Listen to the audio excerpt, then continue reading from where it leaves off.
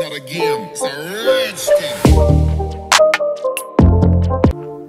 เอาละครับผมก็กราบสวัสดีท่านผู้ชมทุกคนด้วยนะครับ ตรงนี้ต้องบอกว่าเจอกันอีกแล้วครับกับเกม My Server นะครับ แล้วเราก็อยู่กันใน Hard Mode นะครับ ต้องบอกว่าโหมดนี้นี่มันยากมากๆนะครับนะ ก็จะมีทั้งในส่วนของอุณหภูมิที่แปรปรวนนะครับ ก็จะมีทั้งหิมะตก ฝนตก ความร้อนนะครับที่ทำให้เรา หิวน้ำได้ค่อนข้างไวมากๆนะครับ แล้วก็อากาศหนาวเนี่ยที่ทำให้เลือดเราลดได้ด้วยนะ แล้วก็ในส่วนของสัตว์เนี่ยก็มีความดุร้ายค่อนข้างเยอะนะครับ ต้องบอกอย่างนี้เลย นี่เป็นเกมแนวเอาชีวิตรอด ในโหมดยากที่สุดแล้วนะครับของเกม My Server นะครับก็นะทักทายทั้งคนที่เข้ามา ชมเป็นปกติอยู่แล้วนะครับ แล้วก็คนที่เพิ่งเข้ามาดูด้วยแล้วกันนะครับ แล้วก็ขอบคุณทุกกำลังใจนะครับที่ให้มานะครับผมแล้วก็ขอบคุณทุกอ่ายอดแชร์ด้วยนะครับผมเดี๋ยวเราเข้ามาดูในเกมกันก่อนนะครับ ในเกมอ่า My Server เนี่ยสิ่งแรกเลยนะครับ ที่เราต้องทำก็คือการทำอุปกรณ์นะครับ อุปกรณ์ก็เป็นสิ่งที่สำคัญใช่ไหมในการเอาชีวิตรอดนะก็จะมีการคราฟในส่วนของ อ่าที่ขุดที่ตัดนะครับ มีอาวุธบ้างนะครับ แล้วก็มีเสื้อผงเสื้อผ้านะครับ ประมาณนั้นเลยเนาะแล้วก็ตายแล้วเริ่มใหม่นะครับสำหรับคนที่ไม่รู้จักนะครับผมแต่จริงๆเกมนี้ออกมานานแล้วเนาะไม่น่าจะมีไม่น่าจะไม่มีใครไม่รู้จักนะครับลาลาลิ้นพันโอเคนะครับเข้ามาสู่เนื้อหากันในเกมกันบ้างนะครับผมโอเคเดี๋ยวเราฟังกันไปก่อนเลยนะครับ เราได้มาในส่วนของ Big a x นะครับที่เป็นอ่าเหล็กปะวะเออเป็น Big a x เหล็กไม่เหล็กก็หินนี่แหละสักอันนะครับ คาเตโมไม่ทันมองนะฮะหลังจากที่เราได้ Big a x เออเป็น Big a x ไอ้นี่จริงด้วย Big a x หินมานะครับเนาะเรื่องหนึ่งนะครับที่เราสมควรจะให้ความสำคัญมากๆ ก็คือรองเท้านะครับ เพราะว่าถ้าเป็นตัวปกติอะวิ่งช้านะครับจะเป็นไอ้เจ้าตัวลูกบาศก์อะเจ้าตัวหัวเหลี่ยมอะนะครับนะในช่องเราก็จะรู้จักกันดีนะตัวหัวเหลี่ยมนะครับเป็นตัวอ่า basic standard เลยนะครับที่เราได้กันมาเนาะ นี่ก็จะเป็นในส่วนของเจ้าตัวน้องแกะนะครับนะน้องแกะเนี่ยเป็นตัวละครที่พี่ชอบเล่นเป็นพิเศษอยู่แล้วนะครับเกมนี้มีตัวละครเยอะนะครับ ก็น้องแกะเนี่ยความสามารถของเขาก็คือจะวิ่งเร็วกว่าชาวบ้านชาวช่องเขานะครับวิ่งอยู่ 120 หรือเปล่าถ้าจะไม่ผิดนะครับไอ้ไอ้ซอมบี้พวกนี้ก็ขอโม้หน่อยไม่ได้นะเดี๋ยวเราวิ่งหนีไปก่อนเลยนะในช่วงคืนเพราะว่าเราทำอะไรไม่ได้นะขนาดใส่รองเท้าแล้วนี่เป็นน้องหนูแกะเองนะครับก็ยังลำบากเลยนะ ถ้าเป็นไอ้เจ้าตัวหัวเหลี่ยมเนี่ยวิ่งอย่างเดียวเลยนะไม่ต้องได้ตีได้ฟาร์มอะไรกันเลยทีเดียวโอเคฝนตก เอาเลยครับเช้าแล้วนะครับนะโจทย์แรกเลยที่เราต้องรีบทำนะครับมันมีไดมอนด์ตรงนั้นเม็ดหนึ่งใช่ไหมเดี๋ยวเรารีบทำก่อนนะครับ รีบทำเปลี่ยนของให้เป็นของที่ระดับสูงที่สุดก่อนนะครับ แล้วก็ในรอบนี้เนี่ยพี่จะไม่ประมาทนะครับ จะพยายามเอาเลือดไปด้วย เพราะว่าพี่มีความแค้นนะกับไอ้เจ้าตัวบอสด่านนี้อยู่นะมีครั้ง ครั้งที่อัดให้ดูนะครับ เมื่อนานมาแล้วนะ คือพี่ตายให้มัน พี่แพ้มันด้วยโคตรอนาถเลยนะครับ โดนมันแบบเอาเอาเอาป้อมไปเยอะนะแต่ว่าสู้ไม่ได้นะตอนนั้นนะ่ะ คือมันตีตีทีเดียวพังทีเดียวพังเลยนะครับ แรงมาก airdrop ร่วง ดูซิ airdrop ได้อะไร โอ้โหไอ้บ้าเอ้ย airdropให้ค้อนทอมาซะงั้นเลยนะครับหลายๆคนอาจจะถามนะครับ พี่ ค้อนเอาไว้ทำอะไรนะครับจริงๆพี่อยากจะรวมคอมเมนต์ออกมาตอบนะแล้วก็เคยพูดไปแล้วครับว่าจะไม่ตอบคอมเมนต์พวกนี้เนี่ยเพราะว่าทำเป็นคลิปให้เยอะแล้วนะครับแต่ก็นะเหมือนไม่ได้ฟังกันเท่าไหร่นะครับ ก็ตอบให้เลยแล้วกันอีกรอบหนึ่งนะครับคือค้อนนะครับใช้ทุบสิ่งก่อสร้างต่างๆนะปกติเวลาเราจะถอนสิ่งก่อสร้างเนี่ยนะครับเราจะใช้มือทุบใช่ไหมนะครับใช้มือใช้อุปกรณ์ทุบแต่ส่วนมากจะใช้มือทุบเพราะว่ากลัวอุปกรณ์พังนะ แต่ค้อนเนี่ยมันจะทำให้เราทุบน้อยครั้งลงนะครับ ก็เลยแบบเออมันเป็นส่วนสำคัญเวลาที่เราจะย้ายของไวๆอะไรเงี้ยโอเค โอ้ยซอมบี้มาอีกแล้วก็ยังใส่รองเท้าหนังอยู่นะครับ อาจจะต้องจู๊กันไปอย่างนี้นะทั้งคืนซอมบี้นะครับวันที่5เนี่ยจะมีซอมบี้ตัวระเบิดมานะต้องระวังมากๆ เพราะว่ามันรุนแรงมากนะครับ เลือดเรา 140 เนี่ยโดนไปตูมอาจจะง่วงเลยก็ได้นะครับ โอเค เช้าวันที่ 3 หิมะตกนั่นไงเห็นไหมนะครับ เรื่องอุณหภูมินะครับเป็นอะไรที่ค่อนข้างจะแปรปรวนแล้วก็อีกเรื่องหนึ่งที่ค่อนข้างหายากก็คือแหล่งน้ำนะแหล่งน้ำในเกมนี้เนี่ยในด่านนี้ไม่ใช่ในเกมนี้เนี่ยก็จะมีแหล่งน้ำรูปบวกเนี่ยแล้วก็แหล่งน้ำเป็นเหลี่ยมนะครับแล้วก็แหล่งน้ำที่มีขนาดพอดีครับเป็นขนาดกลางเออแหล่งน้ำมันนั้นนะหายากในโหมดเนี้ยนะครับไม่ต้องไปพูดถึงแหล่งน้ำแหล่งใหญ่เลยนะ ไม่มีนะครับในด่านนี้หายากมาก แหล่งน้ำขนาดกลางก็หายากมากแล้วนะครับตรงนี้เจอไดมอนด์นะครับแล้วก็ตรงนี้เนี่ยเรื่องหนึ่งที่เราต้องแก้ปัญหานะก็คือน้ำน้ำหมดนะครับดานเฮลเนี่ยนะครับน้ำหมดไวมากๆนะหมดโคตรไวเลยนะครับ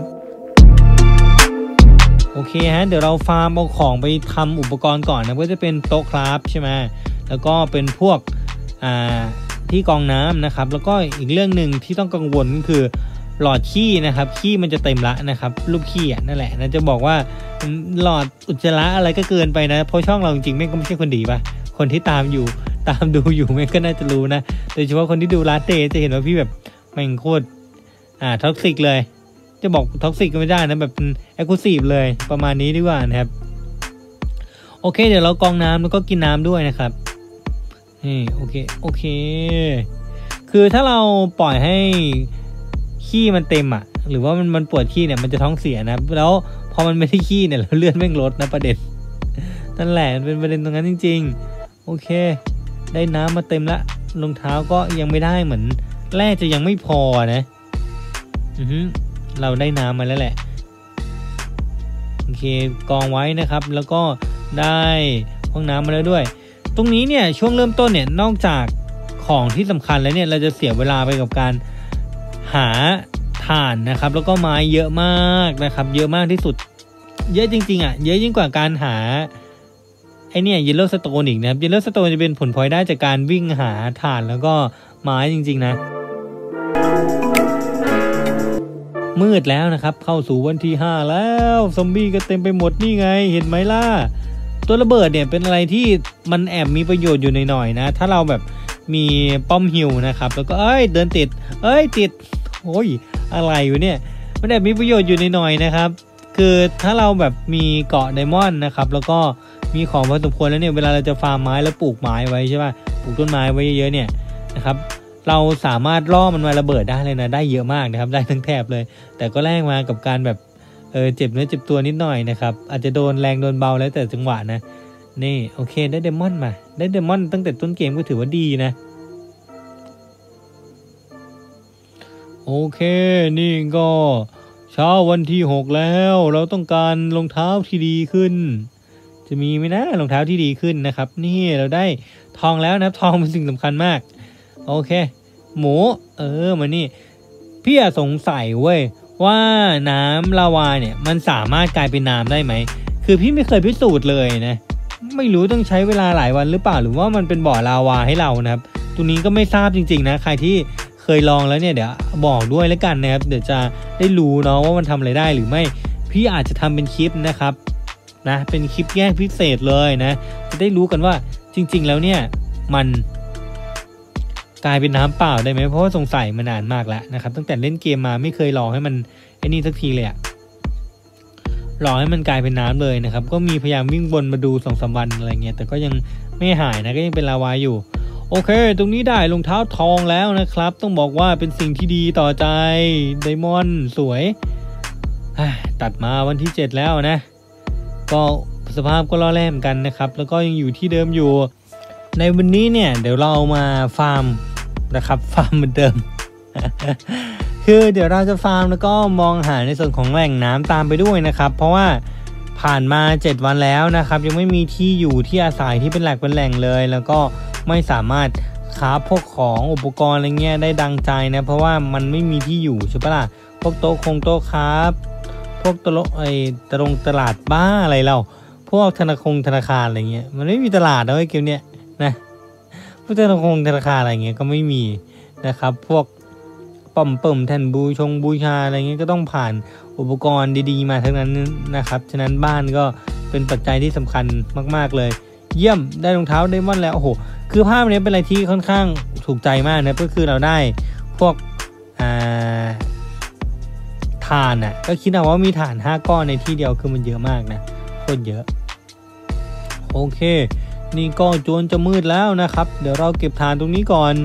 มืดแล้วโอ้มีกองไฟ 11 อัน เราจะวางกองไฟล้อมๆแถวๆนี้แหละนะครับ เพื่อที่จะได้ให้กองไฟเนี่ยโอ้ยเต็มไปเต็มไปหมดเลยเว้ยอู้ยเฮียอย่างเยอะ ก็เพื่อที่จะได้ช่วยให้กองไฟเนี่ยช่วยส่องสว่างเพิ่มเติมนะครับ อยู่ตรงกลางจะได้ไม่ต้องเปลืองนะ ตรง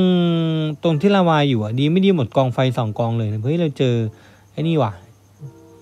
เจอหีบทองนะเมื่อกี้เก้าวันแล้วครับอืมสภาพยับเยินมาก บ้านช่องก็ยังไม่มีแล้วดูขี้ดิขี้จะเต็มหลอดแล้วนะครับปูดปาดปูดปาดแล้ว โอเค เดี๋ยวเราจะต้องหาในส่วนของที่ทุกที่หนึ่งนะครับทำในส่วนของห้องน้ำห้องท่าให้มันเรียบร้อยนะ ไม่งั้นนี่ก็อยู่ไม่รอดถึงคืนนี้แน่นอนนะเพราะว่าหลอดขี้มันจะขึ้นเรื่อยๆเนาะไอ้หมูโอ้ยมีทั้งหมูมีทั้งหมาเลยเดี๋ยวล่าเอาเนื้อนะครับ นี่หมาเนี่ยเราจะ safe safe ไว้ก่อนด้วยการเอากับดักนะครับ เพราะว่าหมามันตีกันระยะหน่อยๆหนึ่งนะ ไม่ทราบว่าทำไมถึงไม่แก้มกัน แต่ว่ามันตีกันระยะนะครับ โอเค ได้ของในอุปกรณ์ ที่เราต้องหาบ่อน้ำใช่ไหมเราจะได้ไม่ต้องทำอะไรอย่างเดียวก็คือแบบไม่ใช่ว่ามาตั้งห้องน้ำเพื่อที่จะมาขี้เสร็จแล้วก็วิ่งหนีทิ้งของอะไว้งั้นนะมันก็เกินไปใช่ไหมแล้วก็จะตั้งห้องน้ำนะครับ แล้วก็ตั้งที่กองน้ำด้วยนะครับ เพราะว่าน้ำเรามันไม่มีใช่ปะล่ะเยี่ยมไปเลยได้เสื้อทองแล้วนะครับ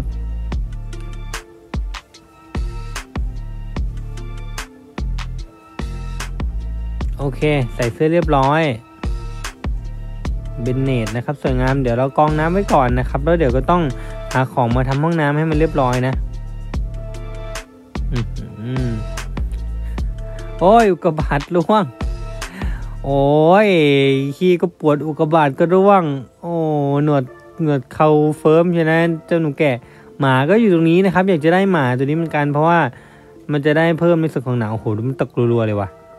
โอ้โหบางวันเนี่ยมันตกทั้งวันเลยนะครับอุกกาบาตเนี่ยทำให้เล่นยากอยู่พอสมควรแบบบางวันเราเสียไปทั้งวันเลย ดีที่บางวันเราอาจจะแบบ ไม่ได้ต้องการน้ำมากต้องการอาหารมากหรือว่าเลือดก็ยังพอมีเนี่ยมันก็จะหนีได้จุกได้นะแต่ว่าถ้านนี้เอ้ยเจอบ่อน้ำแล้ว แต่ถ้าเราแบบต้องการแบบเลือดเหลือนิดเดียวอะไรเงี้ยแล้วอุกกาบาตตกทั้งวันเนี่ย ถือว่าแย่มากนะเพราะเข้ามาสู่ช่วงคืนเนี่ยต้องเล่นแบบ safe safe อะ ถ้าตายมานี่คือจบใช่ไหมโอเคเราได้หญ้าครบสี่อันแล้วนะครับหญ้าสี่อันเนี่ยใช้ในการทำห้องน้ำนะครับ เดี๋ยวเรากลับไปทำห้องน้ำห้องท่าแล้วก็เข้าห้องน้ำนะครับ แล้วเดี๋ยวเราจะมาขยับขยายในส่งตัวบ้านเนี่ย ตรงแหล่งน้ำแค่นะครับ เป็นยังไงกันบ้างครับกับคลิปเกม My Server นะครับ ก็ด่านนี้เนี่ยเป็นด่านที่มีความยากค่อนข้างยากมากนะครับ ต้องเล่นค่อนข้างแบบเพย์เซฟนะครับ เพื่อที่จะได้มีของนะ แล้วก็หวังว่าจะถูกใจนะครับ คนที่เล่นเกมนี้ไม่มากก็น้อยนะครับ แล้วก็ฝากช่วยกดติดตามแล้วก็กดไลค์ให้ด้วยนะครับ ถ้าใครอยากสนับสนุนนะครับก็สามารถช่วยแชร์คลิปนี้ได้นะครับ ผมก็วันนี้เนี่ยก็ต้องขอตัวลากันไปแล้วนะครับ ยังไงก็ขอบคุณมากๆนะครับ ที่สละเวลาเข้ามาดูนะครับ วันนี้ bye bye แล้วครับ bye bye